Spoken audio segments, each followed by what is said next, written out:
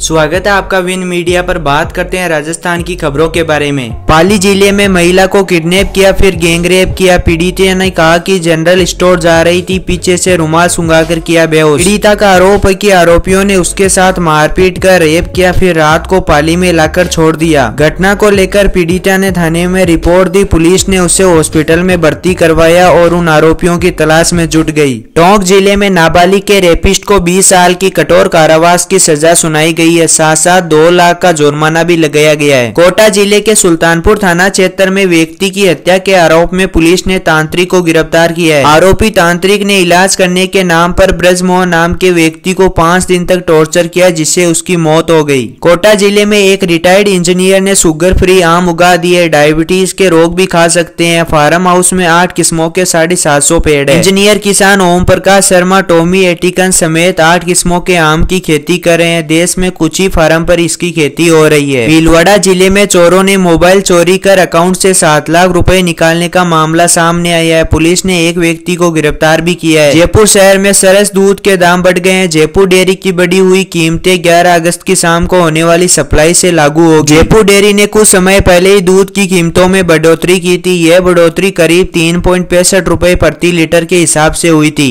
जयपुर ज़िले के hotel Hyatt में शादी के दौरान डेढ़ करोड़ रुपए की चोरी हो गई। आशीर्वाद समारोह के दौरान चौदह साल का बच्चा दूल्हे की माँ का बैग उठाकर ले गया। पूरी घटना महज एक मिनट में हुई और सीसीटीवी में कैद हो गई। चोर हाथी के साथ घुस गए अंदर और इस वारदात को अंजाम दिया। जयपुर से जोधपुर के बीच अगले माह से इलेक्ट्रिक ट्रेन शुरू होगी क्योंकि रायकाबाग से फुलेरा के बीच बचा हुआ काम पूरा हो गया। सीकर ज़िले में जीन माता के दर्शन कर लौट रहे परिवार पर बदमाशों ने किया हमला। जुनू के हिस्ट्री सीटर ने गाड़ी से मारी टक्कर परिवार जैसे तैसे अपनी जान बचाकर भाग निकला। जोधपुर के महामंदिर चौराहे के पास रेलवे क्रॉसिंग पर मालगाड़ी की चपेट में आने से एक युवक गंभीर घायल हो गया। घटना शुक्रवार रात की है।